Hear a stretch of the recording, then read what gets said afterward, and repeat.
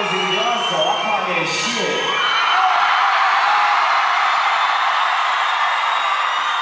Cause ladies